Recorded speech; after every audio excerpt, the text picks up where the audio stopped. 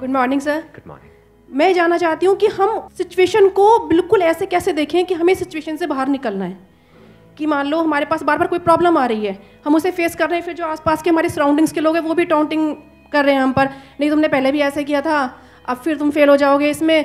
तो वहाँ जा करके हम स्टक हो जाते हैं और फिर हमारा कॉन्फिडेंस लूज हो जाता है। हम एग्जैक्टली exactly कहाँ स्टक हो जाते हैं? जिसको आप जो वर्ड यूज़ कर रहे हो स्टक हो जाते हैं। मतलब आप कह रहे हो कि हम अपनी थिंकिंग में स्टक हो जाते हैं। थिंकिंग में स्टक हो जाते हैं। राइट कि हम ओवर थिंकिंग में चले जाते हैं। ओवर थिंकिंग हम बैठे बैठे बस सोचते रहते हैं कि ऐसा क्यों हुआ क्या हुआ ऐसा नहीं होना चाहिए। हमारे में कुछ ऐसा हो। गया तो क्या होगा वैसा हो गया तो क्या होगा मैं दोबारा भी ट्राई किया नहीं हुआ तो क्या होगा। हम जानते हैं कि पहले भी ऐसा हुआ था फिर हमने उसे ओवरकम कर लिया। हम्म। लेकिन बार बार वही चीज़ आते आते फिर वही ब्रेन का जो कंफर्ट जोन है हम फिर वहीं स्टक होने लगते हैं। और जिस कंफर्ट जोन की आप बात कर रहे हो वो एक्चुअल में ओवर थिंकिंग वाला जोन ओवर थिंकिंग वाला जोन है मतलब बैठे बैठे बस सोचते रहते हैं। सोचते रहते हैं जैसी हमारी कंडीशनिंग हुई कर कुछ नहीं पाते हैं। करते भी हैं तो थोड़ा सा करना शुरू करते हैं उसके बाद वापस से वो थॉट्स हमारे ऊपर हावी हो जाते हैं। राइट यही आप कह रहे हैं? राइट सर प्रॉब्लम जो है इतनी ज़्यादा क्योंकि एक्चुअली क्या लाइफ में अगर कुछ अच्छा होता है तो शायद हम प्रॉब्लम से इजीली निकल जाते हैं। बट बैक टू बैक जब आपको फेलियर्स ही मिल रहे हैं उस टाइम पे भी आपको फिर दिखना ही बंद हो जाता है कि हाँ निकलने का भी कोई रास्ता है। प्रॉब्लम सबसे बड़ी पता है क्या है? कि सबको यही लगता है कि हमारी प्रॉब्लम सबसे बड़ी है। अगर यहाँ पर मैं एक एक करके सबको बोलूँ कि आप बताओ कि आपकी लाइफ में क्या क्या प्रॉब्लम्स आई या अभी क्या प्रॉब्लम्स चल रही है तो आई एम श्योर कोई सोच भी नहीं सकता कि अच्छा ऐसी ऐसी प्रॉब्लम्स भी कोई फेस कर सकता है क्या? तो इन प्रॉब्लम्स के बावजूद भी कुछ लोग आगे बढ़ पाते हैं, कुछ नहीं बढ़ पाते हैं। That is the big question कि एग्जैक्टली हम स्टक कहाँ पर होते हैं? क्या हम एक्चुअल में लाइफ में प्रॉब्लम्स में फंसते हैं? या उन प्रॉब्लम्स को लेकर के जो हमारी थिंकिंग है वहाँ फंसते हैं? सबसे पहले ये चीज़ हमको क्लियर होना चाहिए। तो जो हम कह रहे हैं फंस गए हैं हम एक्चुअल में प्रॉब्लम्स में नहीं फंसे हैं क्योंकि प्रॉब्लम्स तो सबकी लाइफ में है। हम एक्चुअल में थिंकिंग में फंस जाते हैं। Right, ये पॉइंट सुनने में छोटा लग रहा होगा but it is a very big point to understand in life जो 99 परसेंट लोगों को नहीं समझ में आता है। हम क्या समझते हैं कि हम प्रॉब्लम्स में फंस गए हैं? क्योंकि the moment you say that तो जब तक प्रॉब्लम्स रहेगी तब तक आप फंसे रहोगे। और प्रॉब्लम्स कब तक रहेंगी? लाइफ टाइम जब तक लाइफ रहेगी। बट द मोमेंट यू से कि मैं प्रॉब्लम्स में नहीं फंसा प्रॉब्लम्स मतलब लाइफ लाइफ में नहीं फंसा हूँ मैं। लाइफ के बारे में जो मेरी थिंकिंग है उधर मैं फंस गया हूँ जाकर के। अब मैं उस थिंकिंग को कैसे चेंज करूँ? Right if you say that तो वो आपके हाथ में पूरा कंट्रोल है। But if you ask me this question कि मेरी लाइफ की जो प्रॉब्लम्स हैं वो कैसे सॉल्व हो? तो उसका कोई जवाब नहीं है। क्योंकि वो कभी नहीं होगा। आज आपकी एक प्रॉब्लम है वो सॉल्व हो भी जाएगी कल कोई और प्रॉब्लम आ जाएगी। परसों कोई और आ जाएगी फिर कोई और आ जाएगी फिर कोई और आ जाएगी। राइट right, सर तो कैसे हम अपनी थिंकिंग को चेंज करें? सिंपल थिंकिंग चेंज हो गई तो? सब चेंज हो जाएगा। सब चेंज हो जाएगा क्योंकि प्रॉब्लम्स को देखने का नज़रिया बदल गया तो प्रॉब्लम बदल गई। एक बंदा जिसकी थिंकिंग नहीं फंसी हुई है उसको आप चारों तरफ़ से फंसा दो। वो निकल जाएगा। लेकिन जिसकी थिंकिंग फंसी हुई है, उसको आप जा करके दुनिया जहान के सारे रिसोर्सेज दे दो, पूरा का पूरा खजाना भी दे दो, तब भी वो नहीं निकल पाएगा। तब भी रोएगा बैठ करके। कि क्या मेरे को चारों तरफ़ खजाने से कैद कर दिया अरे भाई, खजाना है, कैद नहीं है। देखे ना ऐसे लोगों को, जिनके पास में सब कुछ है, लेकिन रोते रहते हैं।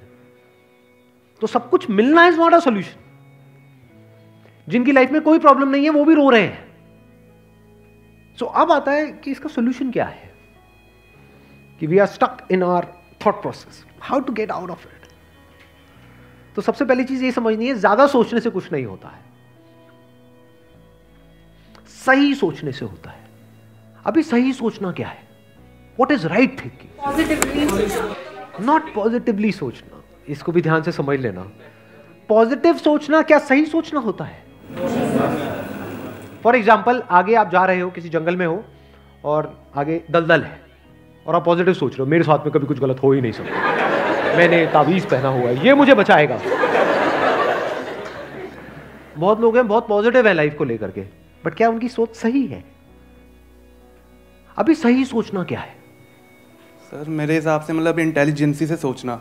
कि मतलब कुछ ऐसा सोचे कि आगे जाके हमें कोई हानि ना हो, कि एक इंटेलिजेंट माइंड से सोचे। अभी इंटेलिजेंट क्या है और फुलिश क्या है?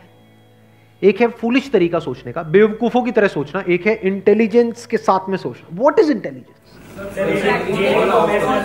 जिसको हम इंटेलिजेंस कहते हैं, वो इंटेलिजेंस क्या है? साइंस को इंटेलिजेंस कह सकते हैं, नहीं कह सकते? नहीं कह सकते। तो किसको कहोगे? सुपरस्टिशंस को इंटेलिजेंस कहोगे?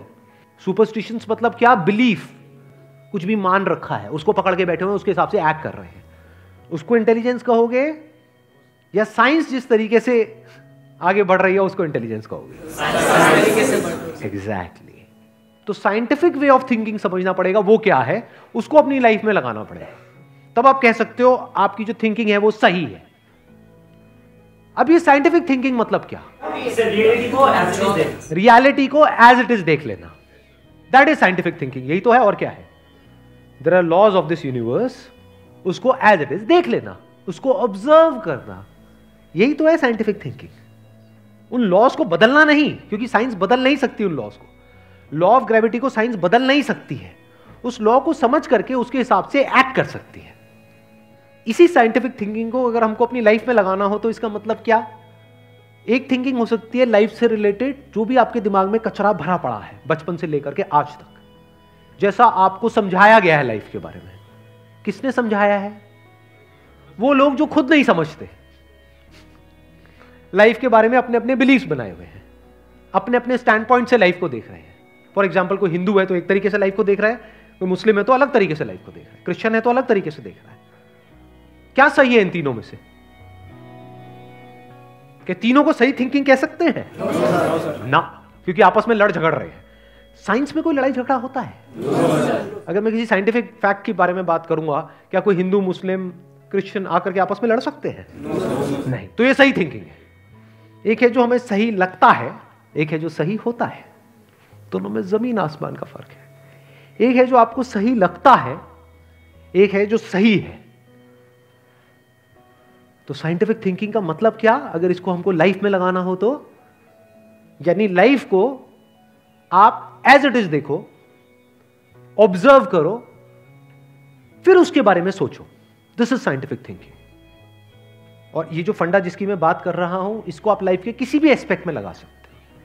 इसको बिज़नेस में लगा सकते हो इसको जॉब में लगा सकते हो इसको रिलेशनशिप में लगा सकते हो इसको हेल्थ में लगा सकते हो। बिज़नेस क्या है अगर रियलिटी को एज इट इज़ देखना नहीं है तो? अब ये जो आपने कहा कि बिज़नेस में सब झूठे भरे पड़े हैं क्या ये सच है या आपका अपना एक स्टैंड पॉइंट है अभी इन्होंने बोला कि बिज़नेस में सब झूठे भरे पड़े हैं। अभी ऐसे ही यहाँ पे मैं अलग अलग लोगों से अलग अलग बातें पूछूँगा ना तो सब बड़े कॉन्फिडेंस से बोलेंगे as if they know it for sure जैसे मैं पूछूँगा हाँ भाई, यहाँ पे किसी मेल का, किसी का ब्रेकअप हुआ होगा। तो सारी लड़कियाँ ऐसी होती हैं। सब धोखेबाज हैं। ऐसे ही कोई लड़की से पूछूँगा, वो आकर के बोल देगी, सर, ये तो मर जात तो है ही ऐसी। इससे कुछ हो ही नहीं सकता क्या ये सच है? या आपका अपना एक स्टैंड पॉइंट है? अपना आपका एक बिलीफ है? तो ध्यान से समझ लेना इसका जो सबसे पहला स्टेप है वो है अंदर जो भी कुछ पड़ा हुआ है आपके जो भी आपने मान रखा है उसको छोड़ दिया। अब आप हल्के फुल्के हो गए। अब एज इट इज़ देखा लाइफ को। लाइफ को ऑब्ज़र्व किया as life not my life for example anger क्या एंगर आपका है? बट आप एंगर का सोल्यूशन कैसे निकालते हो? मुझे गुस्सा आता है मुझे गुस्सा नहीं करना है। कभी भी आप एंगर का ऐसे सोल्यूशन निकाल ही नहीं सकते। सिर्फ़ आपको आता है गुस्सा या सबको आता है? सबको आता है। तो क्या एंगर सिर्फ़ आपकी प्रॉब्लम है या एंगर एक लाइफ की प्रॉब्लम है? Fear if you can look at fear not your fear और माई फियर फियर डर है ना? वो डर क्या है? Can you look at it इसको बोलते हैं साइंटिफिकली चीज़ों को देखना। रिलेशनशिप नॉट माई रिलेशनशिप और योर रिलेशनशिप रिलेशनशिप तो इस तरह से जब हम चीज़ों को देखते हैं ना not from a subjective point of view but from an objective point of view जैसे एक साइंटिस्ट देखता है,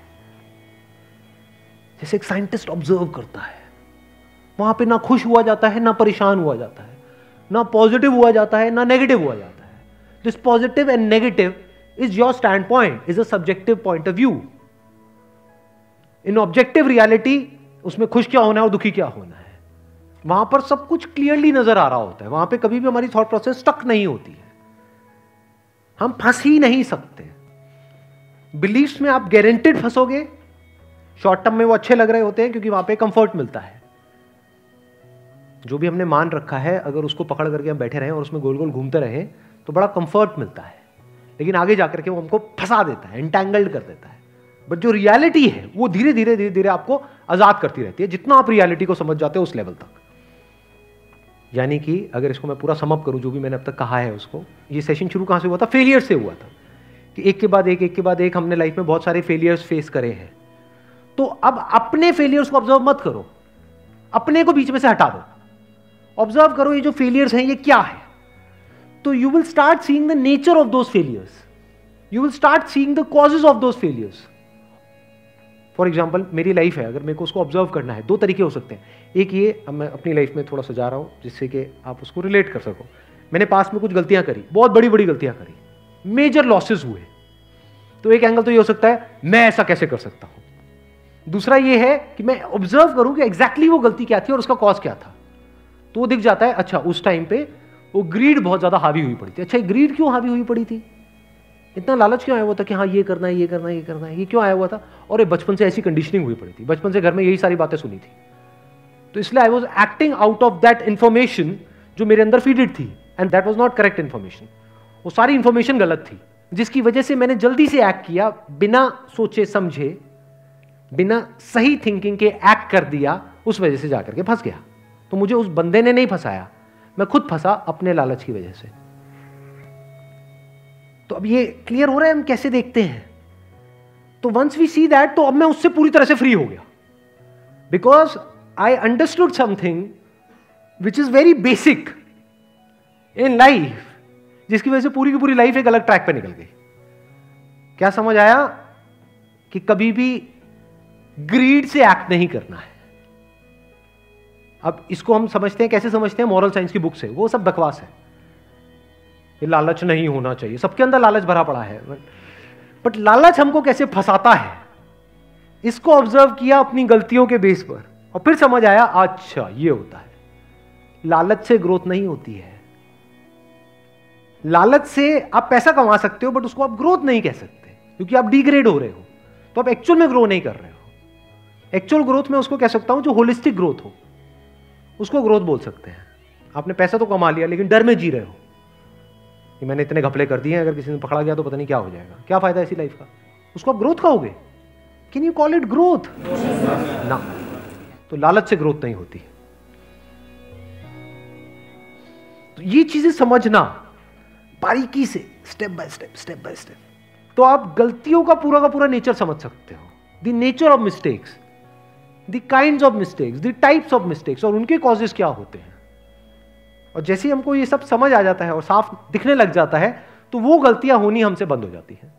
और जितनी भी गलतियाँ हो सकती हैं, उन सबके अगर नेचर समझ आ जाते हैं तो गलतियाँ होने की पॉसिबिलिटी फ्यूचर में ऑलमोस्ट खत्म हो जाती है।